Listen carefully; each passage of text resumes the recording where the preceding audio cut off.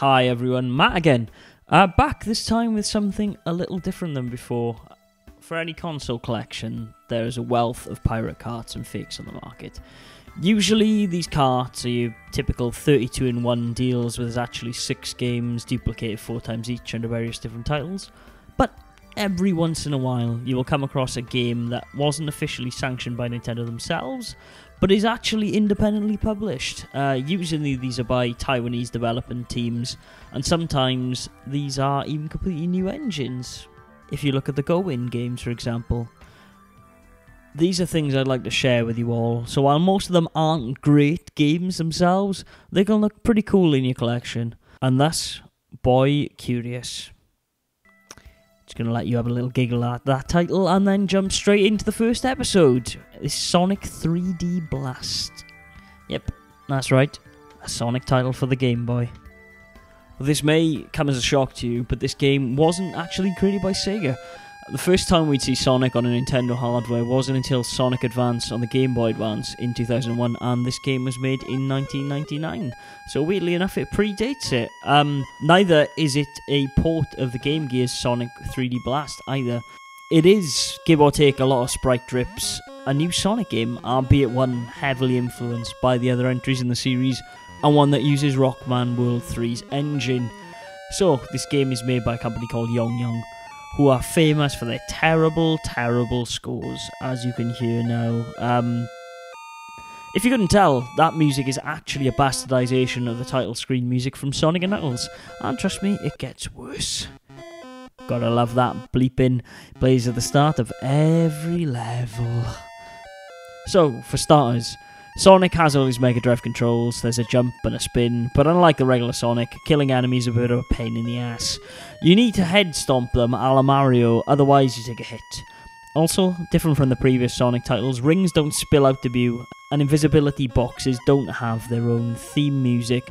Why would they? And can you imagine how terrible they would sound in this version of the game? But it means you walk right into enemies and get hit, which kind of sucks. As I previously mentioned, Sonic has a spin attack which can be accessed by holding down and B, but it is effectively useless. The way enemies are placed makes it impossible to use, and when curled up in a ball, you take damage. Great times. It's pretty much in just for aesthetic reasons, I think. Sonic controls pretty terribly besides this. After hitting an enemy with a jump, it will cause Sonic to walk after he touches back down on the ground making precise platforming a huge pain in the ass. He can also fall through platforms, which, again, massive pain in the ass. As well as him jumping a mile every time he gets hit by a floating enemy, usually sending you spinning to your death. The game's level design is perhaps some of the worst I've ever had the displeasure of experiencing as well.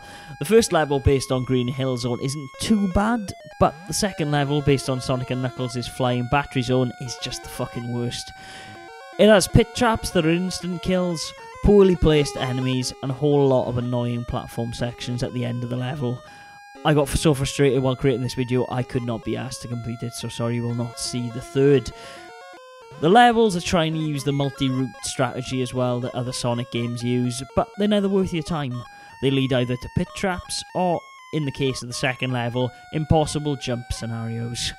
I can't help but think that Springtrap is meant to be here. Oh, and did I mention the game is buggy as hell? For example, once fall jump and dead game. This is perhaps one of the most satisfying moments of this playthrough seeing this terrible fucking game die in front of me slowly. Brother things such as sprites magic in themselves in and out of existence, as well as the level's end goal deciding whether it wants you've done with a level, and more screen tear than a game of Titanfall, it makes for a truly horrific game experience.